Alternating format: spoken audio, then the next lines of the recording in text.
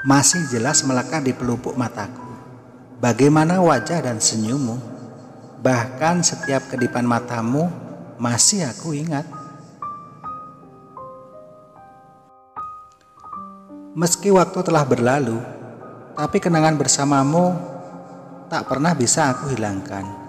Dan hari ini, 10 tahun berlalu tanpa ada kabar tentang kamu. Ya, hari ini aku hanya bisa melihatmu dari balik jendela rumahku saat kamu mengatakan akan pergi berdinas ke Riau. Meski aku ingin sekali mengantar dan mengucapkan selamat tinggal. Namun hati ini tidak bisa mampu melepasmu di tengah perjuanganku untuk mendekatimu. Ya, Aku memang tidak pernah mengutarakan perasaanku, dan aku menunggu waktu yang tepat untuk mengatakannya. Tapi itu tidak akan terjadi karena kepergianmu. Butuh waktu lama untuk mengobati hatiku. Meski saat kuliah banyak yang mendekatiku dan menyatakan perasaannya padaku.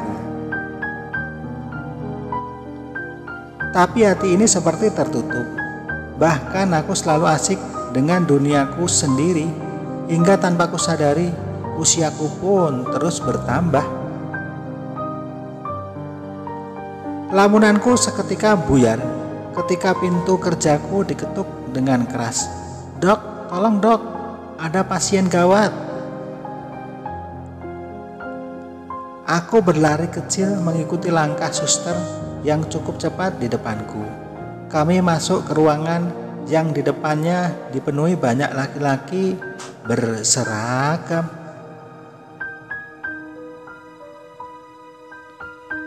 Dalam benakku bertanya, siapa kira-kira pasien yang ada di dalam? Tidak butuh waktu lama untuk menjawab pertanyaanku. Dan alangkah terkejutnya ketika aku tahu siapa yang terbaring di atas tempat tidur itu. Jantungku serasa berhenti berdetak, badanku lunglai dan tidak ada tenaga.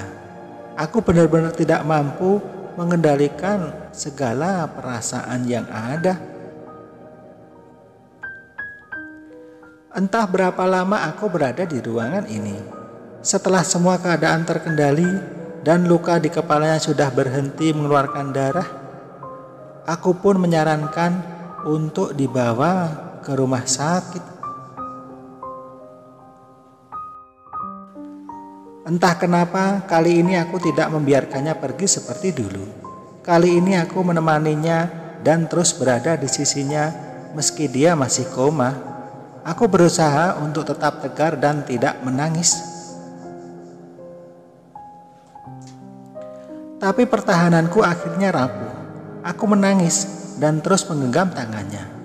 Tuhan, kenapa aku harus bertemu dengannya dalam keadaan seperti ini?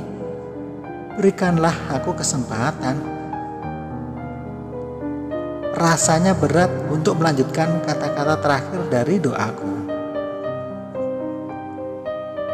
Satu minggu telah berlalu, belum ada tanda-tanda dia akan siuman. Luka benturan di kepalanya cukup dalam dan itu membuatnya tidak sadar. Pagi itu seperti biasa, aku datang ke ruangannya dengan segala harapan. Dari kejauhan aku mendengar seseorang memanggilku. Dokter, aku menoleh dan melihat seseorang menghampiriku. Apa nama dokter Lydia? Karena dokter mirip sekali dengan foto yang selalu teman saya bawa.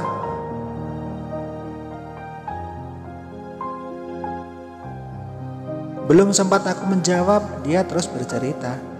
Selama berdinas, dia tidak pernah lupa mengucapkan selamat jalan ke foto wanita yang mirip dokter. Bahkan saya masih ingat saat kita bertugas di perbatasan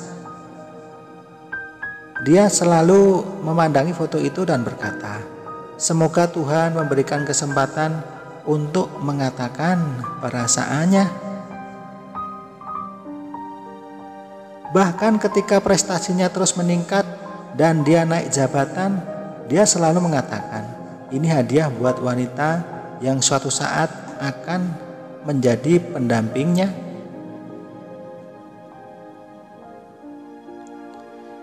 Pernah suatu hari putri dari atasan kami mendekati dan mengungkapkan perasaannya.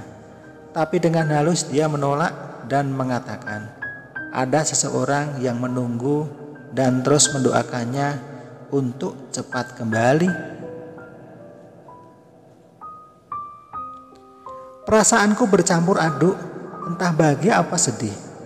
Tapi saat itu aku tahu bahwa perasaan kita sama. Aku berlari dengan air mata yang terus menetes. Tuhan, inikah waktu yang sudah Engkau tentukan? Aku tidak bisa membendung segala perasaan yang ada.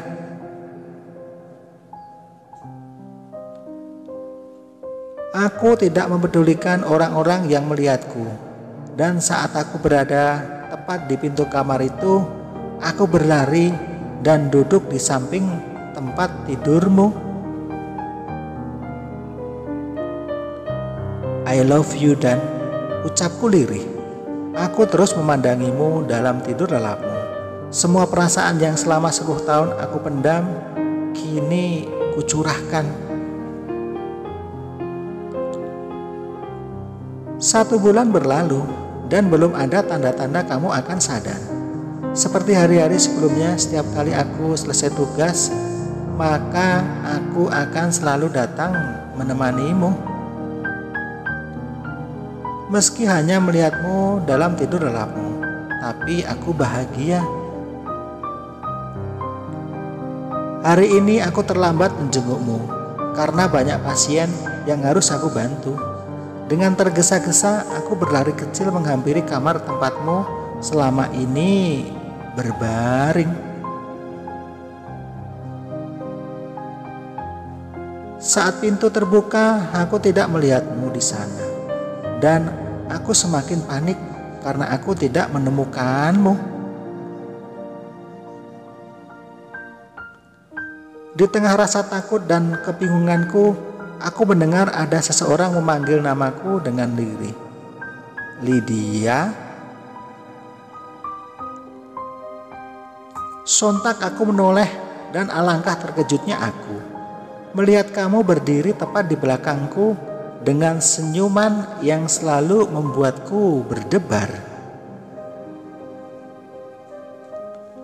Tubuhku seakan roboh, jantungku berhenti berdetak. Belum habis keterkejutanku, tiba-tiba kamu meluk tubuhku dan mengatakan, Maukah kamu jadi istriku? Air mataku menetes dan mengalir di pipiku. Seperti sebuah mimpi dan aku tidak mau terbangun dari mimpi indah ini.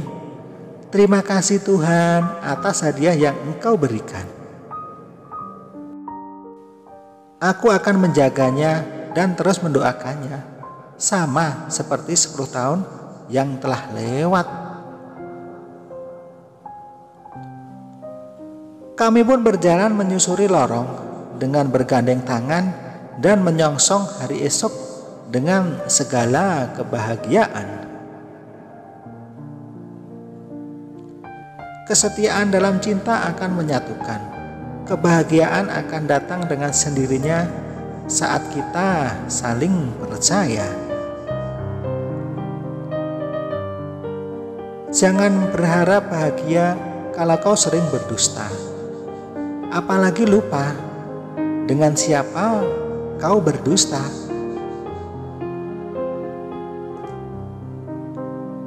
Dia yang menemanimu dari nol. Jangan sia-siakan, apalagi sampai melupakan. Kamu akan menyesal jika kamu tidak menghargai pengorbanan besarnya.